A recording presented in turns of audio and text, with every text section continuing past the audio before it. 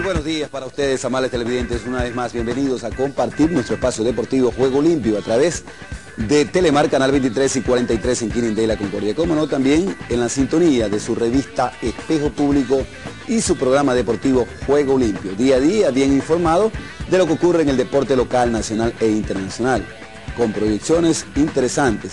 Pero vamos a lo que se viene este día viernes, que será pues la fiesta deportiva de la Copa OSNAE. Año a año esto tiene la acogida por parte de la población esmeraldeña, donde pues quienes están al frente tratan de esmerarse por hacer un torneo que cumpla primero con el objetivo que es confraternizar a las diferentes instituciones, pero más allá de ello es el hecho de equilibrar el torneo, donde no hayan fuertes ni débiles, sino todo sea a la búsqueda de dicha eh, misión, que sería integrar a los gremios. Por ello se pide que todos sean quienes laboren en diferentes instituciones. Nosotros no seremos la excepción. Estaremos allí con nuestro equipo, tanto eh, con nuestras compañeras en la disciplina de voleibol y como pues mm, acá nosotros quien hacemos la información, pues otras cámaras, pues estaremos en la parte de fútbol ejecutivo. Bien, por ello, por ello estuvimos allí para cubrir estas novedades en un diálogo luego del congresismo.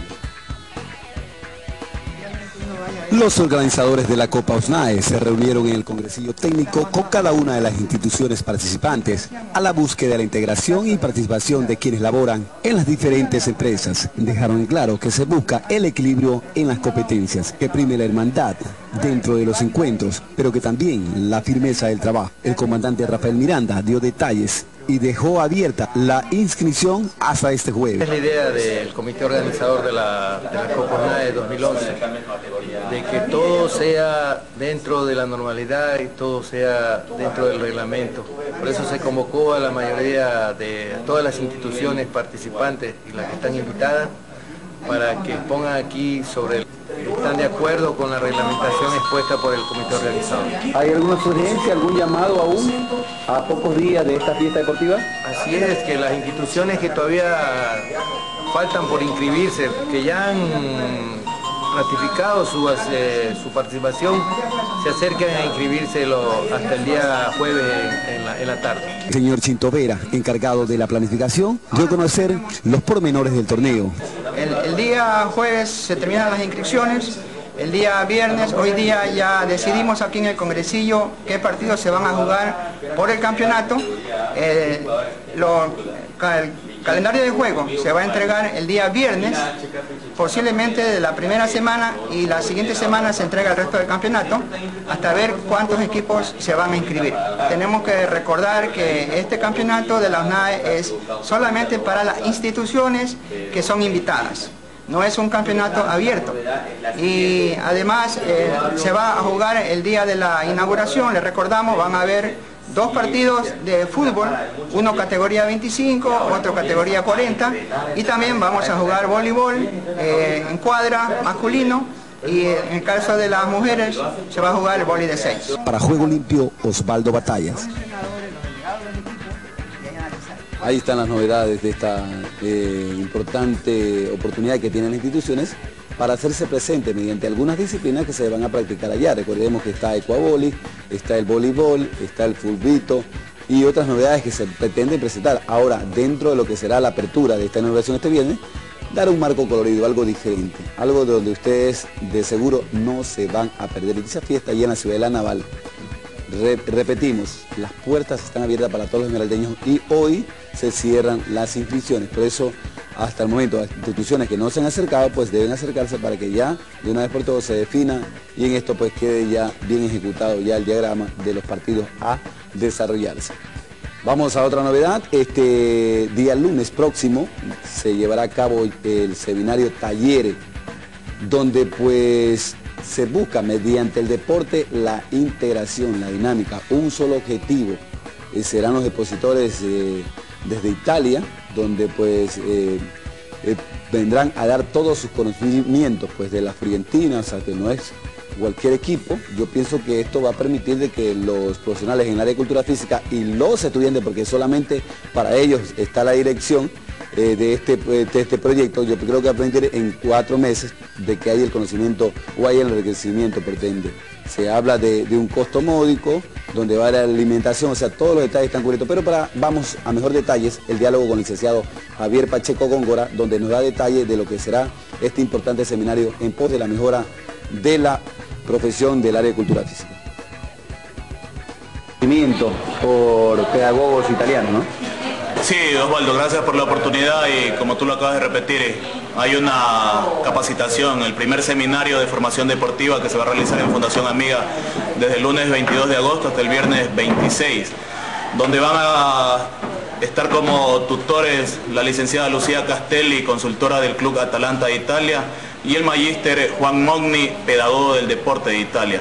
Esta capacitación consta de seis módulos donde se realizarán cuatro durante el año 2011 y los dos finales en el año 2012, donde ahí se dará el diploma a cada uno de los participantes. Se está extendiendo las invitaciones solo para profesionales de cultura física y estudiantes de cultura física de la Universidad Vargas Torres de aquí de la provincia. ¿El horario y el lugar de este seminario, Rosso?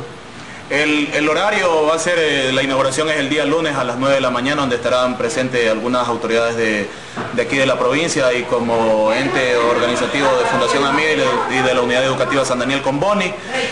El horario será desde las 9 de la mañana hasta las 5 de la tarde, una jornada bien extensa, para que la capacitación, los conocimientos que vayamos adquiriendo los pongamos en práctica, porque con esto se quiere dar un nuevo enfoque, un nuevo rumbo del deporte a nivel mundial, ya que se va a trabajar con la entidad de SportMe, que está reconocida a nivel mundial por la ONU, y algunas instituciones más que están en este cambio a nivel mundial. ¿Tiene un costo este seminario y qué es lo que recibirán los estudiantes, los que participantes de este seminario? Ya, el costo del, primer módulo de este seminario es de 25 dólares. Estos 25 dólares solventarán lo que es, se brindará un almuerzo y dos refrigerios. Además se entregará una carpeta con información del módulo. Al final de toda la capacitación en el año 2012, ahí se entregará ya una memoria, un librillo de juegos, un CD y como lo dije anteriormente, el diploma que avalice que la capacitación ha servido para que los profesionales de cultura física y estudiantes de cultura física de aquí en la provincia tengamos mayor conocimiento y mejor dotación en cuanto a la práctica del deporte aquí. Bien, ahí están las novedades entonces con lo que va a darse en la unidad educativa San Daniel Colboni, todo a la búsqueda de que los profesionales de cultura física pues cada día más mejoren su calidad y su eh, nivel académico. Bien por ello que estos seminarios siempre permiten mejorar. Recordemos que el año pasado se realizó un seminario Perder para Ganar y fue muy positivo porque de pronto se convierte en sensacionalismo el hecho de cuando se salta al terreno de juego, a una cancha deportiva, se le mentaliza al deportista ganar por ganar y no se aprende a perder. Y sobre todo cuando se está en el proceso educativo es diferente al proceso competitivo. El educativo es la enseñanza del saber ganar, empatar o perder. Y en esto creo que se ganó mucho, se ganó mucho porque de esta forma fueron cambiando las directrices en cómo llevar un torneo, un campeonato.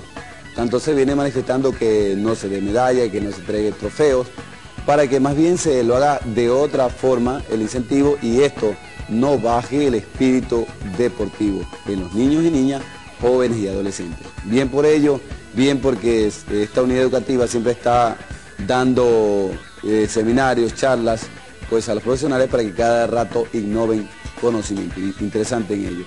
Esto es todo en cuanto a deporte, la información veraz y oportuna en el momento propicio para que usted esté bien informado.